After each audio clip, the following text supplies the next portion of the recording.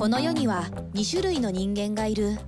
兄のような勝ち組と Look at that stupid shirt my brother's wearing. 私のような負け組。ママだっていつでも兄の味方。だけど私には Nick is like so hot. 最高の親友がいる。彼女にとっても私が一番。そう思ってた。Oh my god! What the fuck? Seriously? My brother? Think about how shitty this is for me. Why don't you try being positive?